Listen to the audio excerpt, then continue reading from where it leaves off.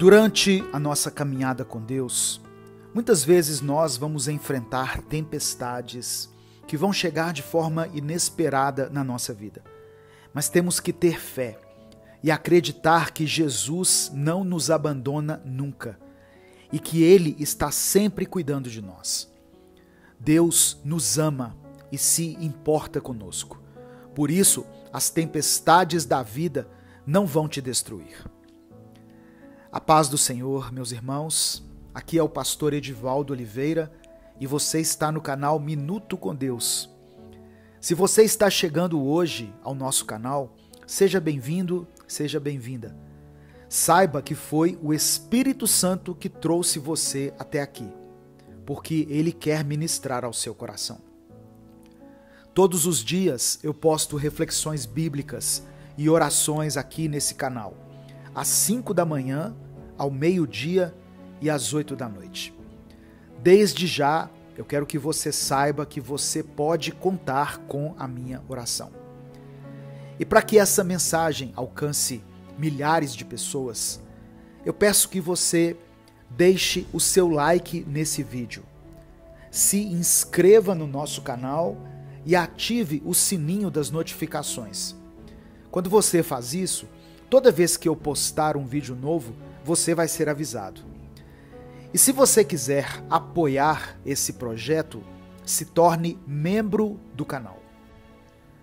Eu peço que você escreva, pela fé, a seguinte frase aqui nos comentários: Eu creio no poder de Deus. Escreva isso como uma declaração de fé. Eu creio no poder de Deus. E em seguida você pode colocar o seu pedido de oração. A palavra que eu quero trazer hoje está no Evangelho de Marcos, no capítulo 4. Eu quero ler os versículos 37 e o 39. Está escrito: Levantou-se um forte vendaval, e as ondas se lançavam sobre o barco, de forma que este foi se enchendo de água. E o verso 39 diz assim: Ele se levantou, repreendeu o vento e disse ao mar: Aquiete-se, acalme-se. O vento se aquietou e fez-se completa bonança.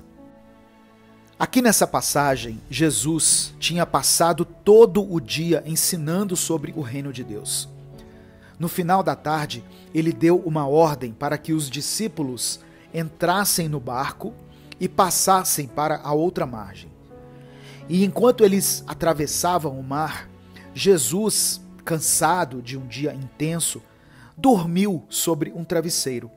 E durante o seu sono, uma tempestade violenta surpreendeu os discípulos, enchendo o barco de água. Os discípulos, apavorados, clamaram a Jesus. Ele acordou repreendeu o vento, o mar, e a palavra diz que em seguida se fez grande bonança. A nossa travessia pelo mar da vida é marcada por inúmeras tempestades. Algumas são mais intensas, outras são mais suaves, algumas vão durar mais tempo, outras vão passar rapidamente. Essas tempestades podem estar representadas por problemas, por crises que nós vamos enfrentar na nossa vida profissional, no nosso casamento, na vida dos nossos filhos. Pode ser uma tempestade que atingiu a nossa saúde, as nossas finanças e até a nossa vida espiritual. Ninguém está livre das tempestades. Até o discípulo mais obediente a Deus, em algum momento da vida, vai precisar enfrentar uma tempestade. Os discípulos de Jesus, por exemplo, haviam passado o dia inteiro na companhia do Mestre, ouvindo a palavra, fazendo a obra de Deus, e mesmo assim, no final do dia, eles foram alcançados por uma grande tempestade. É verdade que muitas tempestades que enfrentamos são geradas por decisões erradas que tomamos mas Deus é poderoso para nos fazer vencer qualquer adversidade. Hoje eu quero falar para todos aqueles que estão enfrentando algum tipo de tempestade na sua vida. Eu quero propor que você pare e olhe para as suas tempestades com um olhar diferente. Saiba que é no tempo de tempestades que buscamos a Deus com mais intensidade. É por causa delas que nos tornamos pessoas mais pacientes, mais maduras e mais perseverantes. São as tempestades que moldam o nosso caráter e consolidam a nossa fé. É no meio das tempestades que descobrimos quem são os nossos amigos de verdade. Em Provérbios 17, versículo 17, está escrito: Em todo o tempo ama o amigo, e para a hora da angústia nasce o irmão. As tempestades revelam as nossas fraquezas e a nossa vulnerabilidade. Elas nos mostram como somos totalmente dependentes de Deus. Por mais que a gente queira se fazer de forte a vida toda, elas nos mostram que alguns problemas somente vamos vencer se Deus estiver no nosso barco. As tempestades nos mostram quem Deus é e isso fortalece o nosso relacionamento com Ele. Quando conseguimos vencer um grande problema com a ajuda do nosso Deus, a nossa fé é fortalecida, é consolidada.